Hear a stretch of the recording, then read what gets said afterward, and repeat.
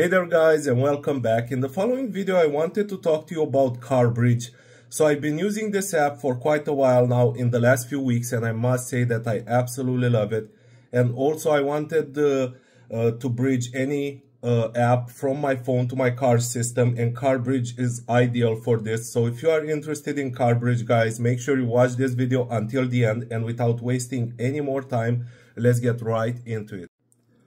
Okay guys, so I've got CarBridge on my phone as you can see. In order to start using it, first we have to follow a few steps. Head over to your settings, then go to apps, search for App Store.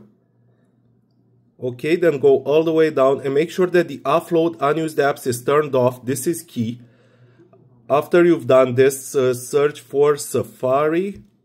Go all the way down, go to advanced and make sure that the JavaScript is turned on. This is important. After you've done this, head over to your browser and type in tweakmate.com. Okay, guys, so tweakmate.com. And now once you're here, use the search bar and type in CarBridge. And you will see right here CarBridge mod. Press on it. Now press install.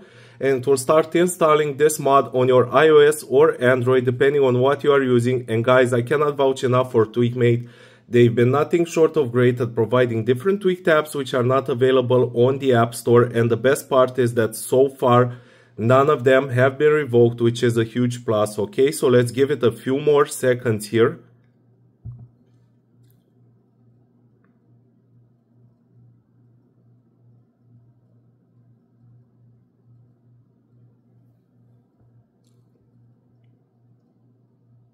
Okay, now press allow, close go back to your settings then uh, head over to uh, general VPN and device management and you will see right here CarBridge mod press on it. Now press install. Type in your passcode. And uh, voila guys. Now you will have it on your home screen. What you need to do right now is open up the app and then you will be redirected to a page with a list of offers. Make sure that you follow the instructions correctly and complete at least three offers some of them are apps, some of them are offers, but do make sure that you follow the instructions correctly for each and every one of them. I've already done this and it took me like a couple of minutes.